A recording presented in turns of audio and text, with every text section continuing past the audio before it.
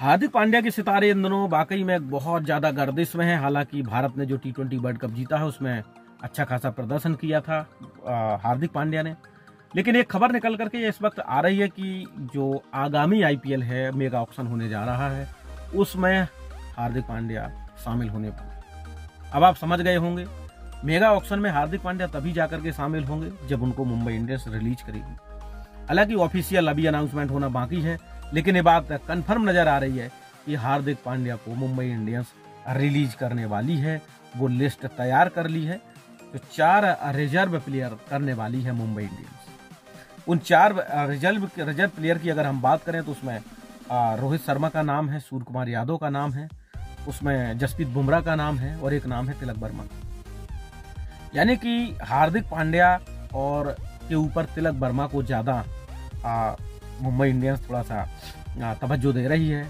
और उसका कारण भी है बिल्कुल, सीधे तौर पर अगर आप देखें तो मुंबई की जो हालत रही थी, कभी ऐसी रही नहीं है। हार्दिक पांड्या को जब से कैप्टन बनाया था ट्रेड किया गया था गुजरात टाइटन से, तब से लगातार इस टीम में लगातार बगावत चल रही थी और टीम का माहौल बेहद खराब था। और स्थिति ये रही, जब आईपीएल 2024 खत्म हुआ तो मुंबई को अगर आप ऊपर से नीचे, ऊपर से ढूंढना चालू करेंगे तो आपकी गर्दन, आँखें आपकी नज़र थक जाएँगी। नीचे से सीधे तौर पर देखो तो मुंबई नज़र आ रही थी। और शायद उस चीज़ को मुंबई इंडियंस ने बहुत जल्दी समझ लिया है कि हार्दिक पांड्या का जाना ही ठीक है। और हालाँकि बीच में लग रहा था कि हार्दिक को शायद मुंबई बतौर कैप्टन हटा देगी, लेकिन ऐसा नहीं किया। और अब 2025 का जो मेगा ऑप्शन होगा, उसमें हार्दिक पांड्या जाने वाले हैं, मुंबई इंडियंस रिलीज़ करने वाली है। और एक और बड़ी खबर निकल करके आ रही है मुंबई इंडियंस के खेमे से ही कप्तान को लेकर के तो सूर्य कुमार यादव को मुंबई इंडियंस का कप्तान लगभग बना दिया गया। और जसप्रीत बुमराह भी इस फेवर में है कि सूर्य को कप्तान बना दें, उनको कोई दिक्कत नहीं है, ना रोहित शर्मा को दिक्कत है और ना ही तिलक वर्मा को, किसी भी टीम मेंबर को कोई दिक्कत नहीं है। ईशान किशन को अगर आप छोड़ दें, ईशान को भी नहीं होनी चाहिए। थोड़ा सा ईशान किशन भी अपना रास्ता भटक गए थे और एक गलत संगति में पड़ गए थे हार्दिक पांड्या के साथ। हार्दिक पांड्या का जो पिछला अगर समय देखें, साल, दो साल का, बहुत ख़राब रहा है, चाहे उसकी पर्सनल लाइफ रही हो। हालाँकि उस बारे में किसी को कोई डिस्कशन करने का अधिकार नहीं है। लेकिन बड़े स्टार है चीज़ें निकल करके आ जाए कितना भी आप छिपाएँ, वो चीज़ें निकल करके आती हैं। और उस जो फैमिली का जो इशू रहा, उसके बाद मुंबई इंडियंस का कप्तान बने, और भी ख़राब दौर चालू हुआ।